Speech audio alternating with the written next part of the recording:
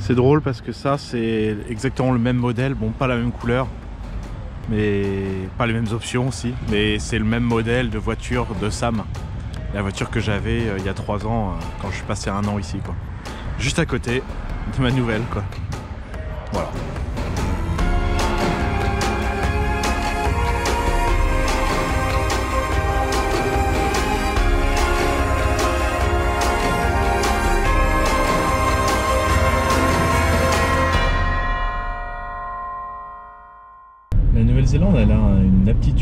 Particulière de faire pousser des montagnes, plus particulièrement des volcans, un peu là où ça lui chante. Genre, paf, montagne. Alors que faut savoir qu'on est entouré par l'océan ici. Là, on est sur un bout de terre qui s'enfonce dans l'océan et au bout, paf, il y a une montagne. C'est génial.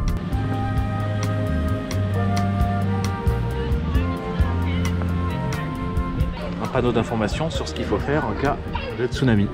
Comment savoir si un tsunami est, en train d'arriver, si le tremblement de terre dure plus longtemps qu'une minute, s'il est assez important pour vous faire tomber, alors vous devez aller sur un terrain haut. D'étranges bruits, euh, des changements soudains du niveau de la mer ou euh, l'océan qui se retire sont des signes d'un tsunami.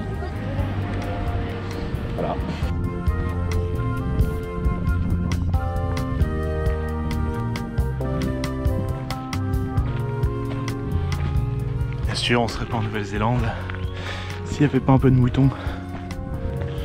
Ok. Commence à faire chaud un peu là.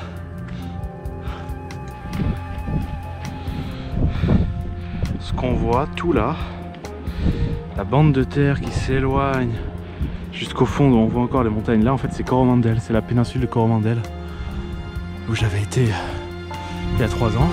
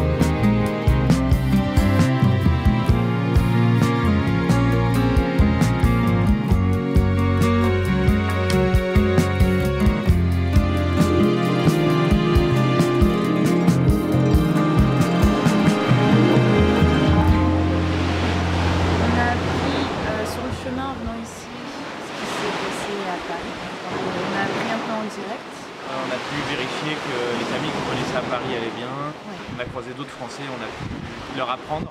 Enfin, on a croisé un coup des Français qui ne savaient pas. Il y a quelques Néo-Zélandais qui sont venus nous voir, qui ont compris qu'on était Français et qui nous ont dit bah, que, Vous savez, pour France, ouais, voilà, qui ont essayé de nous prévenir, euh, sans partager. C'est quand même un bel endroit, donc on n'a pas le droit d'être triste, on n'a pas le droit de.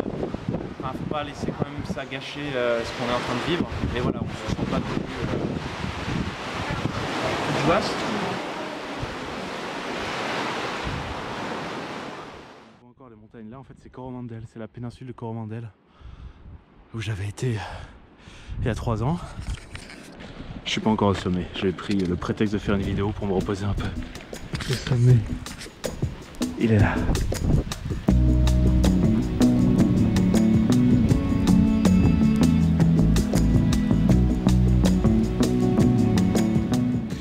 En fait, ils ont une énorme queue, voilà, qui leur permet de faire des trajectoires juste de tarés, en fait.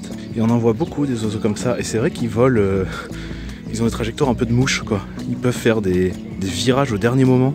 Donc là, vous sentez pas, mais ça pue le soufre. Parce qu'en fait, voilà, il y a des sources chaudes partout, quoi. Ça sent l'œuf, l'œuf pourri. euh, C'est normal ici.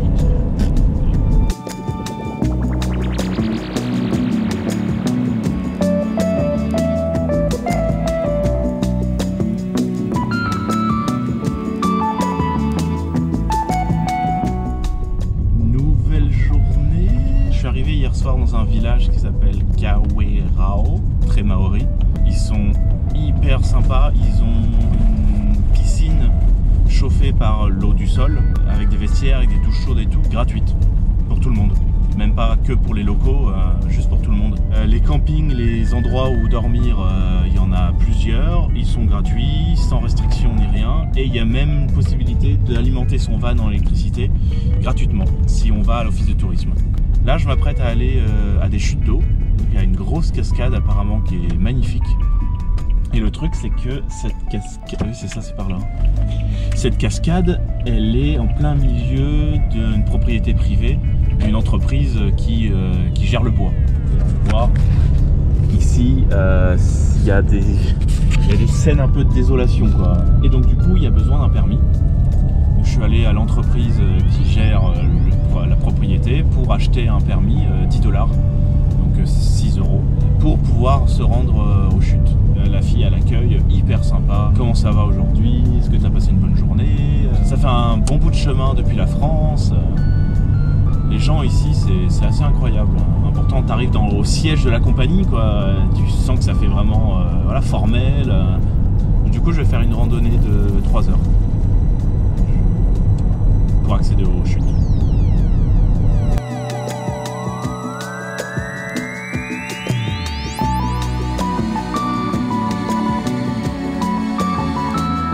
Limpidité de l'eau. Il y a des sacrés poissons aussi.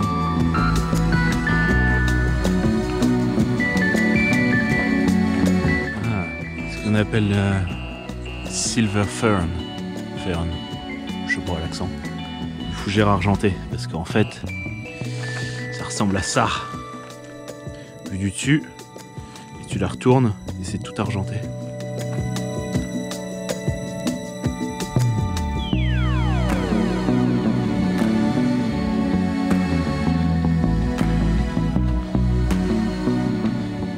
Beaucoup ça en Nouvelle-Zélande. On l'a beaucoup fait d'ailleurs hein, en été avec, euh, avec ceux à qui je, voyageais. Il y a énormément de- d'endroits où tu as des cordes comme ça, où tu peux sauter par-dessus des falaises.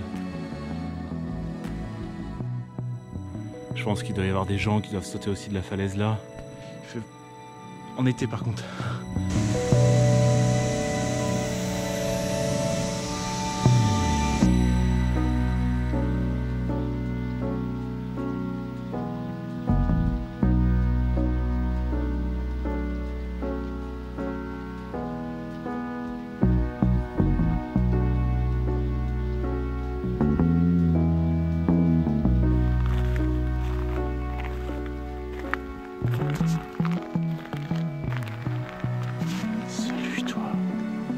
Timide hein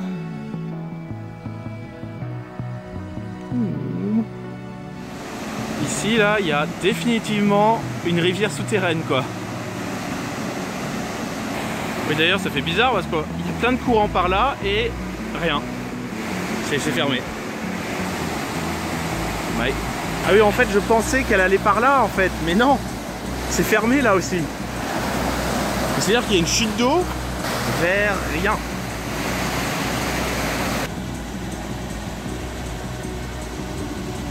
Et encore une cascade vers nulle part. Oui, en fait, le gros de la rivière s'est enfoncé sous terre. Et ça, c'est ce qu'il en reste.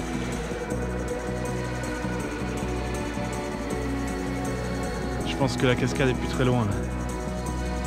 D'ailleurs, je dois, être en haut en fait. Je devais arriver par le haut.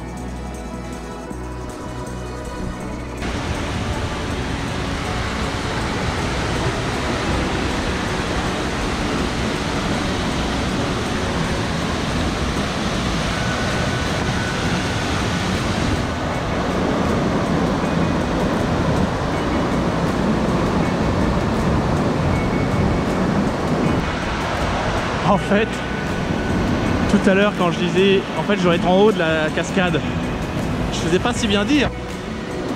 J'étais là.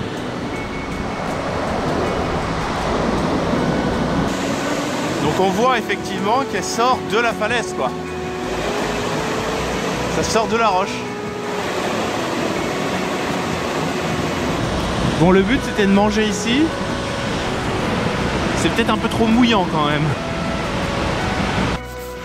J'ai bien fait quand même de de partir euh, pas si tard que ça parce que vraiment le problème avec l'hiver c'est que à 16 heures et quand on est dans la forêt il commence à faire quand même sacrément sombre quoi. Il aurait pas fallu que je parte une heure plus tard quoi.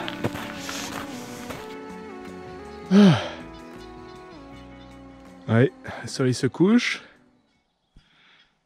J'ai croisé personne pendant toute la randonnée.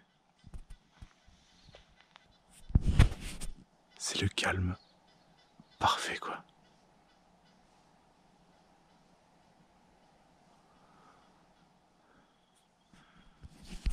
Ce camp là en fait on peut y dormir. Il est énorme. J'ai quasiment jamais vu ça. Il y a plein de toilettes sèches.